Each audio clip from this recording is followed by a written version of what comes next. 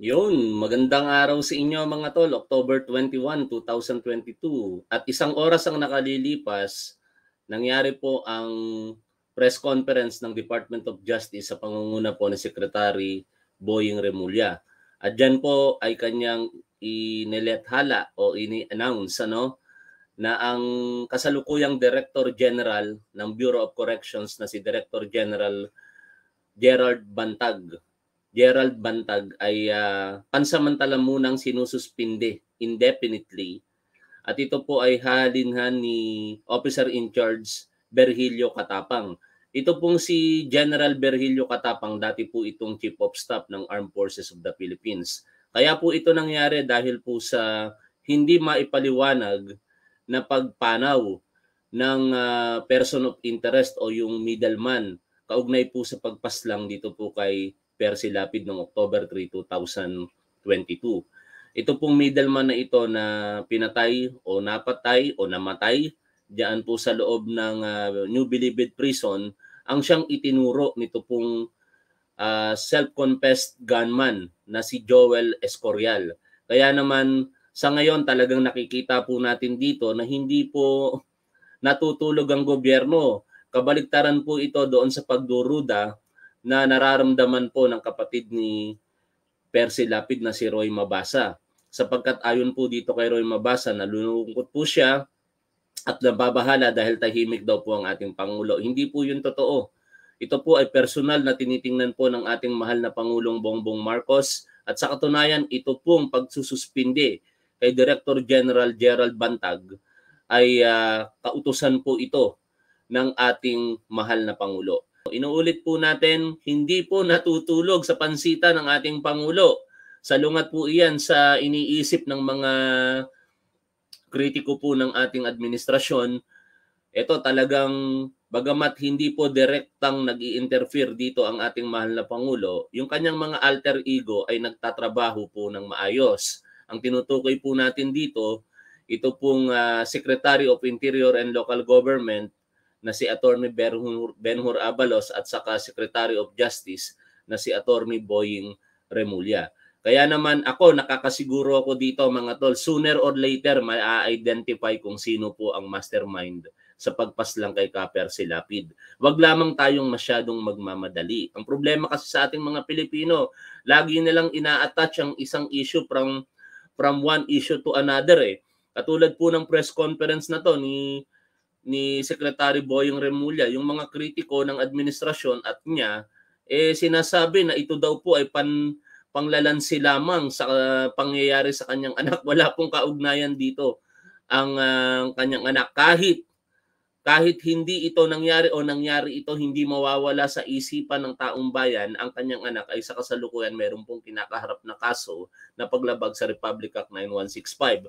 Panoorin po natin ang press conference kanina nito pong si Secretary Remulla at dito nga po pinaliwanag niya kung bakit po sinuspinde itong si Director General Gerald Bantag ng ating mahal na Pangulo. At ipinakita niya rin po dito yung ilang mga pagkakakilanlan doon po sa napaslang o namatay o hindi maipaliwanag ng pagkamatay na alleged uh, alleged middleman yung tinawagan po yung tumawag kay Joel Escorial at sa grupo nito at nagbayad ng 550,000 pesos. Panoorin natin mga tol.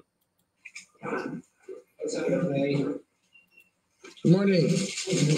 Uh, anyway, I call this uh, press conference because everybody wants an exclusive and it's not fair to give an exclusive to anybody, especially that uh, And again, I don't have the time of day to answer every question from individually. So let's just do it this way. Tama. Tama yung ginagawa po ninyo. Alam niyo itong mga news network, kung bakit gusto nila ng exclusive. Kasi scoop po yan eh. Kapag ka nakakuha po sila ng magandang scoop, malaki ang kita dahil marami pong mga advertisement na papasok po sa kanilang programa. Kaya tama po ito para fair and square sa lahat. Ah, pati tayo ngayon, no, 'di ba? Sabay na sabay po nating nalalaman ng balita hindi lamang mula sa mga news agency kung hindi direkta po sa pinanggagalingan ng balita at at uh, sa pangyayari na ito, direkta po mula po sa Department of Justice at sa secretary po nito na si Attorney Boyong Remulla. Um, yesterday, I received a phone call from uh, Secretary Alam Abalos at uh, before 10:30 a.m. about uh, a a witness, middleman, uh, person detained from liberty, uh, the, uh, deprived of liberty, a PDL, uh, had died uh, in Bilibid, in Bucor. So immediately, I made calls to inquire about this matter. Paliwanag lang natin isa-isa mga tol para natututo tayo talaga sa mga pangyayari. Ano? Yung persons deprived of liberty, ito po yung kilala po natin sa Tagalog na bilanggo. Sa ngayon, bilang pagsunod po sa international agreement, particular sa United Nations Convention on how to deal with dito nga po sa mga nakakulong, eh kailangan na po iyang tawagin sa kasalukuyan bilang person deprived of liberty. Hindi na po sila tinatawag sa mga official documents na prisoner, inmates o kung ano man ano. Talagang sila po ngayon bilang pagrespeto sa karapatang pantao kahit sila po ay nakagawa ng krimen, dapat igalang po. Kaya tinatawag po silang person deprived of liberty. Ngayon, binanggit dyan ni Secretary Remulla ang Bureau of Corrections sa Canyu Bilibid Prison. Huwag po kayong malilito, ano? Ang Bureau of Corrections po is the attached agency under the Department of Justice. Ang Department of Justice, ito po yung departamento kung saan ang mga sangay naman nito ay kung hindi ako nagkakamali siyam. Kabilang po diyan ang ang uh, Bureau of Corrections, ang Board and Parole, Board and Pardon and Parole at iba pa, ano? Bali siyam po 'yan, pito o siyam tapos itong New Bilibid Prison, ito naman po yung operational aspect ng reformatory or uh, corrections ng ating mga persons deprived of liberty. Isa po ito sa mga walong penal institutions nationwide. Kasama po diyan ang dalawa para sa kababaihan na matatagpuan po sa Mandaluyong at saka sa Davao, yung Correctional Facility for or Correctional Institute for Women at uh, yung puro yung mga panglalaki naman, nandiyan po ang Iwahig Penal Farm, San Ramon Prison Penal Farm, later Regional Prison, Sambuanga Penal Farm at iba pa. Ang gusto ko lang pong malaman ninyo, kaya ko po binabanggit yan dahil magtataka kayo, may nakakulong sa lugar ng Mindanao, sa Visayas, pero meron din nakakulong dito sa New Bilibid Prison. But basically, ang nakakulong po sa New Bilibid Prison karamihan po diyan ay mga maximum security prisoner. Maririnig po natin iyan sa mga susunod na pahayag nito pong si Secretary Remulla.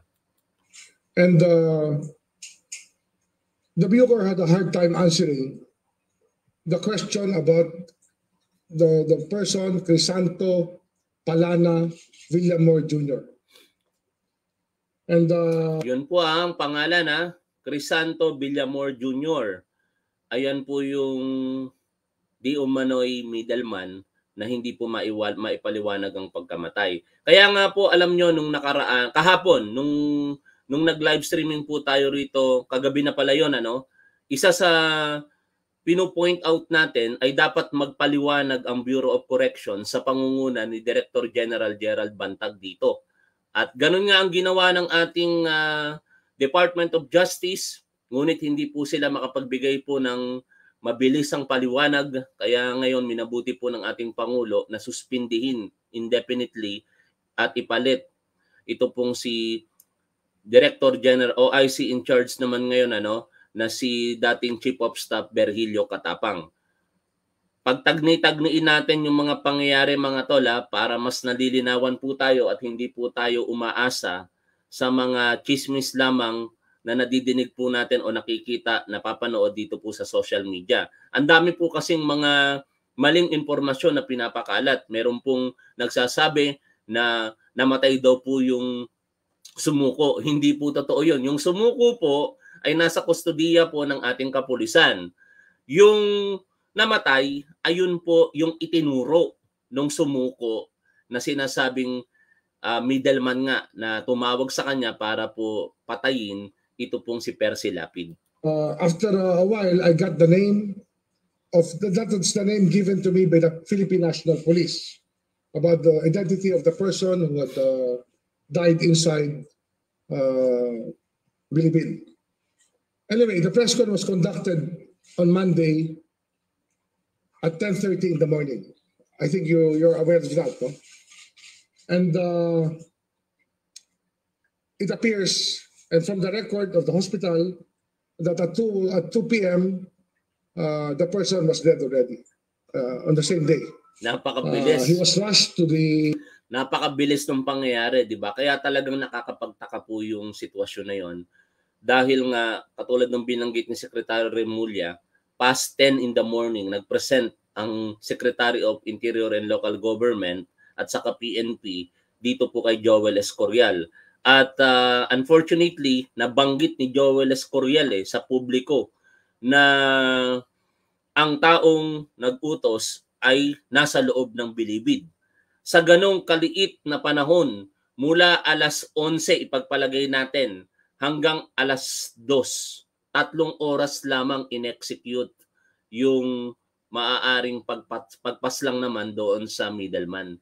Kaya dito, meron talagang nasa likod na malaking tao dito o kung sino man na makapangyarihan o may pera para nang sa ganoon mabilis na mapatikom ang bibig sa pamamagitan ng pagpaslang doon sa middleman. Sabi nga, dead man tells no tale, di ba? Kaya wala tayong magagawa diyan. Pero ang good news diyan, mga tol, bago tayo mag-react ng violently, unfortunately, na-i-announce na naman sa publiko, pero sasabihin ko na kasi nanggaling naman ito sa ating kapulisan at SILG, meron pa pong isang middleman na ngayon po ay nasa kustodiya ng BJMP at ito po ay nasa loob po ng NCRP Camp Bagong Diwa. No, not, not NCRP Camp Bagong Diwa sa may Tagig kasi doon po co-located eh ang uh, maximum security facility po ng Bureau of Jail and Management Penology. Ito pong other middleman, ang sinasabi po sa balita, ito po ay merong pending case para po sa paglabag sa illegal na droga. Tuloy natin mga tol. Uh, National uh, uh, very big hospital, yung yung hospital ng, ng, ano, ng corrections, and uh, he was they tried to revive him, but he was dead already. Okay. Um, but nobody nobody knew. Uh, I mean, uh, ito ito lang yung timeline, no? Because October 18 we were we, we found out we found out that uh, the gunman had surrendered, and uh, October 19 the PNP. Uh, through the chief of police of Las Piñas, of uh, Muntinlupa, went to Bilibid to inquire about the identity uh, about this person, uh, about Crisanto Villamor. And the answer of, uh, of Bilibid was there's no person by that name uh, inside Bilibid. And appears that uh, the name in the records of Bilibid is this. John Villamor E. Globa. John Villamor E. Globa. No? Kasi ito yung, ito yung mga record niya. Ito yung case management record niya. And there's no name of Crisanto Villamor, but he is the person. One and the same person. Parang lumalabas ng dalawang Okay. pangalan, ano? Uh, Isang June Villamor saka isang Crisanto Villamor pero iisang tao po. Yung case management, yan po yung mga kaparaanan kung paano po nire-reforma ang persons deprived of liberty. Um, he was uh, sentenced for uh, frustrated uh, ano ba frustrated murder ba to? Uh, sentensyado for attempted murder, murder, and violation of gun ban. Kaya nakakulong siya. So, E. Garcia. And then, in other, in the case where he was sentenced, his name is Jun Villamor Igloba. Igloba. So you you have a person who, who is known by three names, uh, who was a person of interest in the Percy Lapid killing, who died, and when his record was being verified, uh, it was not immediately verified because the name inside the records of Bilibid was another name. Same family name, but it's a June Villamor. Uh, Garcia or Globa, depending on what record you O yun pala ang naging dahilan ano, nagkaroon ng immediate verifications. Kaso nga lang hindi kagad natukoy dahil nga magkaiba yung first name. Isang June tapos isang Virgilio pero it appears na iisang tao. Dito sa pagkakataong ito nagkakaroon ng kalinawan na kumilos naman yung ating otoridad. Pero hindi natin maialis na ang isa sa mga lapses doon dapat hindi muna in-announce sa publiko yung pangala ay yung ah, na ang taong nag-utos ay yung nasa loob po ng bilibid. Kasi dahil doon sa concern na yon, kaya siguro na-trigger yung mastermind ng ng pagpaslang na ito na mag-utos ngayon dito po sa kung sino man ang gumawa diyan sa New Bilibid Prison. Ito ah, wala pa pong pen, wala pa pong pinaling result kung ano yung kinamatay ng tao. Pero most likely that is uh, that is murder ano?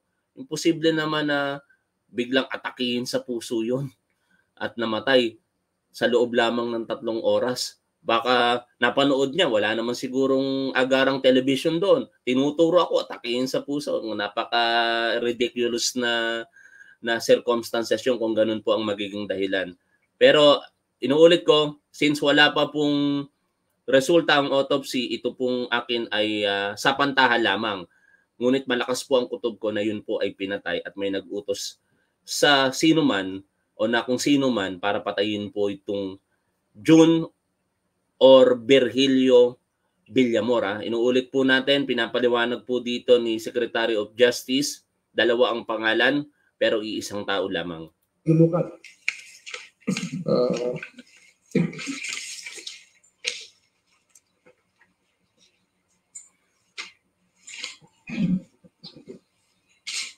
yeah.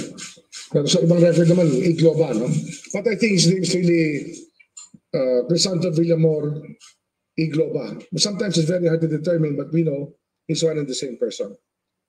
Anyway, um, the gunman pointed out to two players or two two actors in the in the conspiracy. Uh, one of them was was this person, Villamor, and another person was pointed to who was in BJMP in the facility of the police in Taguig, and he's now under custody. So that will clarify the question about middlemen, the role of middlemen here. And uh, it also points out a lot of things about our, our correction system and uh, the carpeta system. Many of the things we're trying to reform right now, na problema talaga ng ating corrections and cor- correction system, which is the carpeta. No? Carpeta is the record of the prisoner. Kagaya nga nun, itong, itong, ito, imagine, no? when you ask for it, you think it's instantaneous. You can actually get it instantaneously. But remember, Bilibid has 29,000 inmates. In Bilibid alone, 29,000 inmates. 17,000 in the maximum security prison. That's bigger than a small town and it's as big as the largest barangay in this country. No? So you this is no joke no, pagdating dito sa bagay na to. Ayan, no? So, what do we do now? How do we move forward from this, no? Kasi nga ito, no? Uh, nag-val- nag-validate ang police noong 19 uh, sabi nga, nag-certify pa sila na walang pangalan na ganun sa record ng Bilibid. Kasi nga, dapat makita nyo yan, wala talagang pangalan na ganun sa loob ng Bilibid. Sinertify yan. Uh, ito yung chief of police ng ano, ng ng uh, Las Piñas talking to the corrections officer. Corrections officer Lim about this matter and this is a document provided by Lim about the the, the case record of uh, John Villamor. John Villamor. Na the same name as the deceased. Yung namatay, yun yun.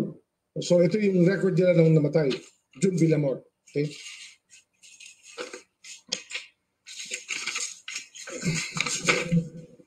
And then uh, we also got another person of interest related to Jude Villamor.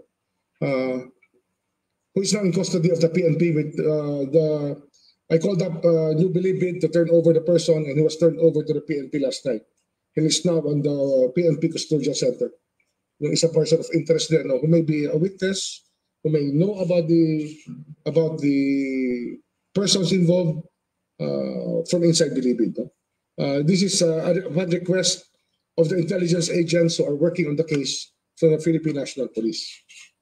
Um, also, uh, I asked the, the National Bureau of Investigation to check and uh, study the Percy Lapid case to look at all positive possible motives for for the for the attack for the for the gruesome attack and ano, the fatal attack on Percy Lapid so that we may know uh, of who may have motives against Percy Lapid. Uh, we have to open everything here.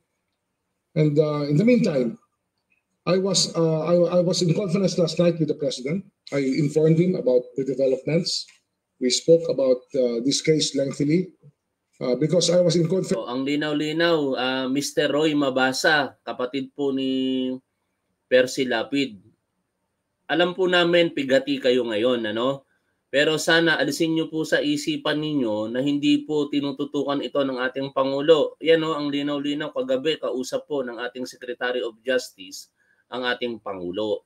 At yan po ay tinututukan ng ating Pangulo. Napakaraming affairs, problema ng ating bansa. Hindi po kayang tutukan mag-isa ng ating Pangulo o siya mismo diyan. Meron pong mga pinagkakatiwalaan siya diyan at ito po si Secretary Benhur Abalos at saka ito si Secretary Boying Remulla. Kaya Mr. Roy Mabasa, eh wag niyo na po sanang politikahin. Alam naman po namin na ayaw niyo po sa ating mahal na Pangulo. Pero tinutulungan po kayo ng Pangulo at ng gobyerno para malutas ito pong pagkakapas lang sa inyong kapatid na si Percy Lapid. Conference also at 5 o'clock in the afternoon, at 5.30, I think, or 5.45. I was in conference with the Secretary Abalos and the senior officers of the case. And um, I was given the briefing yesterday. Kahapon ko lang nalaman itong ano, ang uh, Bucor angle nito because I was never informed from October 18 about this. Kahapon lang when Secretary Abalos called me that the person had died. No? So I, I tried to find out everything I could and uh, we had a conference uh, prior to the press conference of, of Secretary Abalos. Actually, kami ang magkasama. No? Kami ang magkasama ni Secretary Abalos. And then uh, with the police, we were briefed about the Percy Lapid case. And then uh, I went to the president to tell him about this. And uh, what was the reaction of the president? Uh, uh, he uh, he asked me to preventively suspend uh, Undersecretary, Director General Gerald Bantag of of of Bucor, so that there may be a fair, impartial investigation on the matter, so that all doubts will be put to rest that there are no sacred cows in this administration. Um, and at the same time, uh, uh, that he asked that uh, he asked me to appoint an OIC uh, in uh, in New Bilibid uh, from directive from an order of the president. We'll be appointing Gregorio Katapang Jr. as OIC of Bucor. Bucor. Gregorio Katapang Jr. was the chief of staff before of the Philippine military. Uh, Okay, ah, officially na mga tol, nadinig na natin ano. And nun- anyway, kal- kalat naman na yan sa balita. Ang officer in charge po inuulit po natin ngayon ng Bureau of Corrections ay si retired General Chief of Staff dati yan ng Armed Forces of the Philippines na si Virgilio Katapang. Pansamantala niya pong pinalitan, ito pong preventively suspended indefinitely. Hindi kasi malaman kung hanggang saan po yan tatagal ano na si Director General Gerald Bantag. of uh, the whole Philippine uh, the whole Philippine military. So the floor is open to questions now. Good morning, Secretary. Ah, Secretary, kasi may mga nagsasabi na scripted, marami po nagsasabi na bakit ah, abrupt, ganun yung nangyari sa case, namatay yung Kasabing middleman, your thoughts about it? Well, the first thing that you do is turn to science, and uh, immediately after I found out, and I was able to trace, uh, a report was given to me that he was in Eastern Funeral Homes, the remains. I immediately sent a team of NBI yesterday uh, to, to conduct an autopsy. And there were all, many witnesses. I think the chief of police of Las Piñas and uh, Muntinlupa were there. Uh, marami tayong testigo sa autopsy. The autopsy was conducted for a few hours. And uh, a toxicology report is being prepared uh, as, as we speak because uh, it has to be a thorough autopsy. So to find out uh, about about the about the crime or if there's a crime committed to the person, uh, we have to. I, I don't believe in coincidence. It- It's uh, we have, we just have to check check every angle. So we put to rest many doubts by conducting a scientific uh, uh, inquiry through an autopsy of uh, of the cadaver of Crisanto Villamor Jr. or June Villamor, as they, as they call him or on the record as June, June Villamor. Secretary, bago po yung June Villamor, nakausap na rin Secretary, i-clear ko lang po, no? before po mamatay itong June Villamor, nakausap po ba siya ng PNP or any, any authority po ng uh, house itong case? Ah, hindi, kasi ang bilis na namatay. Ah, kung tama yung record ko, no? Ah, hanapin ko. Yon ang problema diyan eh. Kaya dapat talaga bago sana pinresenta sa publiko itong si Joel Escorial na take into custody muna yung middleman, ano? Oh, hindi ako naninisi pero nagpapaalala po ako sa authority na sana next time wag po munang pabida sa publiko. Uh, kino-congratulate natin anyway ang PNP sa kasi sa kasi SILG pero merong lapses po doon. Ano, kung hindi na ipresenta yung Joel Escorial na sumuko na, iisipin ng mastermind, walang problema. 'Di ba? Eh kung na custody na yon si June Villamor, sa kanila pinresenta itong si Joel Escorial, hindi mapapatay si June Villamor ng ganun kadali. Ganun lang yung logic doon. Wala na. Ah, ah, kung tama ang record ko, 2 o'clock pa lang. Ano na siya? Nandun na siya sa 2 o'clock na October 18, right after the press con, no? 2 o'clock na, oh. No, na, press con ni Secretary Abalos. Ah,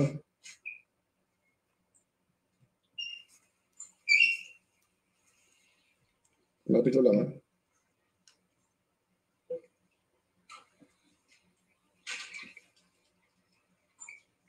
Yan, 2 p.m. nga. 2 p.m. Uh, pronounced na siya ng 2 p.m. Oh. Uh, sa NBP Hospital. NBP Hospital. So yun nga, uh, that was Monday, no? October 18. So dinala siya sa funeral home where his remains were until yesterday, a, an autopsy was conducted in the funeral home by the NBI. NBI team, marami sila nagpunta ron. Tsaka maraming agents na kasama just to make sure that uh, everything was witnessed properly. Secretary, uh, regresalis po sa DCRH. Ano yung nakita mo sa bago tumapas ng si Percy Labi, primero sa na binatigos na official ng Bureau of Correction? Yes, uh, actually, I, I saw that uh, a lot of people were sending me that a long time ago. Eh. Uh, hindi naman sikreto yung video na yun. No?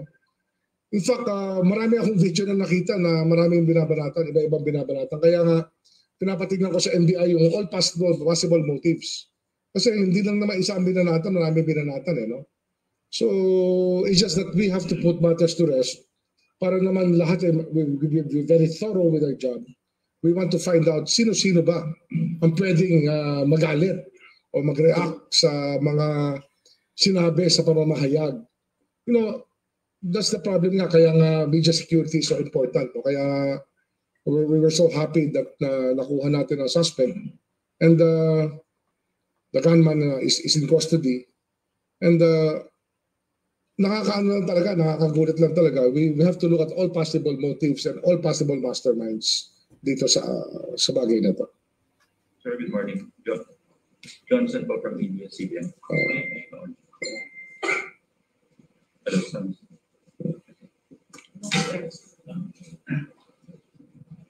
Secretary, good morning. Johnson for from ABS-CBN. Sir, may meron ba tayong timeline? Kailan lalabas ang result ng autopsy?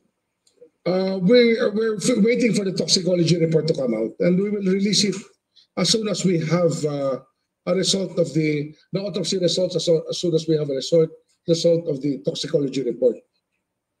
Secretary, Okay, lilinawin lang natin ano sa mga hindi po nakakaalam ng toxicology. Ito po yung proseso ng pag-aaral para malaman po kung merong toxic sa isang sa isang bagay. In this case, inaalam kung nilason ito pong ah, cadaver o itong si June Villamor ano. At yan lang ang magpapatunay na pinatay siya. And hopefully lumabas po ang katotohanan diyan. Anyway, sabi naman po ni Secretary Remulla kanina, nung isinasagawa po ng NBI ang autopsy, eh marami pong witness. Kaya definitely hindi po ito ma- madadaya. Lalabas at lalabas po ang katotohanan dito. Ah, I believe, pinatay po talaga itong si Mr. June Villamor, ano, yung person deprived of liberty para patahimikin. Ngunit ah, syempre, inuulit ko, sa pantaha ko pa lamang yan sa kasalukuyan, pero hindi po yan chismis, sa opinion ko po yan at sa pantaha. At sana, sooner or later, lumabas po yung autopsy report at isa publiko nila para maalis po yung agam-agam sa publiko na merong mga cover up dito po sa pangyayari na ito. Napakalaking tao sigurado ang nasa likod po ng pagpaslang dito po kay Kaper Silapid. Pero may paliwanag na po ba kasi nung morning ah, kahapon, may interview po sa PNP na secured na si middleman and then lumabas yung report na patay na pala siya noong October 18 pa. May paliwanag na po ba ang authorities of that? Yung, may paliwanag ba ang, ha? May paliwanag na po ba doon kung bakit hindi nagtutugma yun? Sabi ng PNP, secured na si middleman kahapon, pero patay na pala siya noong October 18. Dalawa kasi middleman na pinag-uusapan dito, no? May isa pang middleman na who came from the BJMP facility uh, uh, in Taguig, no? In Taguig, uh, maybe Camp Mamundiwa, I don't know what camp it is, no? So they have one in custody, they had one in custody already. Ang, ang sa akin lang, sayang, if I was informed that we had to secure somebody inside uh, Bilibid, that could have been done very early. Like if they like last night they requested me to to secure the other possible witness uh, in one and a half hours the person was already with the police. Uh, we were able to secure the person immediately. But i was not informed uh, by the police about this uh, so that's it no? um, coordination is very important and there was probably a, a, a shortcoming there uh, hindi kami nakapag-coordinate uh, kasi nga hindi naman kami ang nag-investigate. Uh, we're not the ones investigating.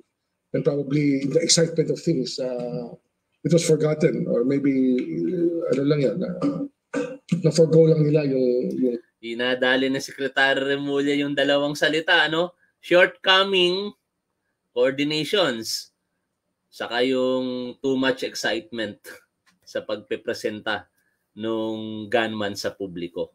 Ano, dapat once and for all, sinettle muna yung mga dapat isettle bago ibinabalita. Kaya lesson learned para ito sa ating kapulisan na hindi dapat nagmamadali sa mga bagay-bagay. Kasi sayang, sila din naman yung naghirap para ma-identify yung gunman eh.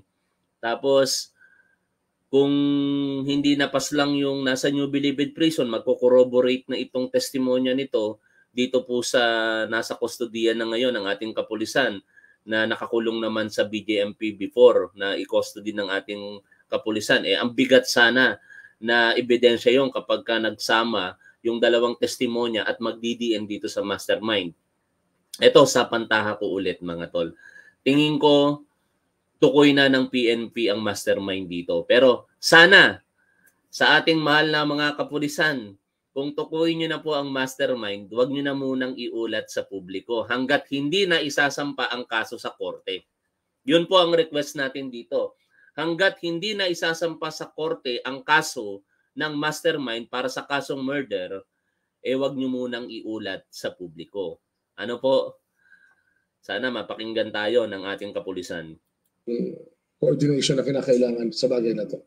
Sir, last two questions na lang. Yun yung second middleman na buhay pa, anong special na instructions para masigurong siya ay mananatiling buhay hanggang sa umuusad po yung kaso? Uh, he's already in custody of the PNP. He's already in custody of the PNP. Uh, custodial center. So I think that he'll be okay. Uh, we have to give him, of course, pa-check up natin kung ano talaga kung meron siya iniinda. Pero I, I- I will have no doubt naman na okay naman siya. Kaya dito, autopsy is the, most, the only thing we can do. And lastly, sir, papuntayin lang yung dates po natin kasi ang niyo po kanina is Monday. Yes, October 18. So that's October 17. Ah, uh, Tuesday, October 18. Ano, tama, 18, di ba? So it's 80. Oh, 18, no, 18 yung press con, di ba? 18. Okay. Sir, dahil punta ko sa Philippine Agency. I would just like to ask kung nakag-usap niyo si uh, Director Bagday regarding this. Yes, yes, I had to request documents from him. Kasi nga yung yung I had to request documents. Kailangan ko ng dokumento galing sa sa Bucor and uh, I was given documents. Uh, kaya nga may pinapakita ko sa inyo ibang dokumento. Kasi nga mahalaga ma-determine natin yung records eh. Very early in the case, we are able to to to look at uh, verify the identities of people and look at official records so there will be no confusion as to the identities of people. How did you take the suspension recommendation? Ah, okay lang. Uh, well, this is part for the course. Uh, if you want an impartial investigation, that's the only thing you can do here. Kasi nga, uh, it's under his ano, jurisdiction. And uh, that's the way it, it, it goes naman. eh. Yun talaga ang uh, wala naman tayong choice. And uh, that's the president's instruction. Hi, sir. Good morning po. Hi. Okay. I just from CNN Philippines. So yung suspension ni DG Bantag, uh, did you recommend it or kanagaling yung sa Pangulo? And naging basis ba yung negligence and the timing of the death the basis is for the impartial investigation. I don't think that we can uh, attribute anything at once. Uh, we cannot conclude anything at once. I believe that uh, the president, in his best judgment, as his experience as a governor and as a president, uh, actually gave me a, a good thing to do, uh, to, to, to issue a preventive suspension and to get an OIC inside to make sure that everything is investigated properly. Second, second middleman, kasi tinong ko din si Escoriado sa kanya. Yes. uh, as a judicial confession about Christopher Pacoto. Is he the same person as a DJ? Yes, uh, yes, yes, yes. So ano yung naging participation niya kasi nakagalan dito without uh, him, him, Um, I don't think I should be releasing any information on that matter.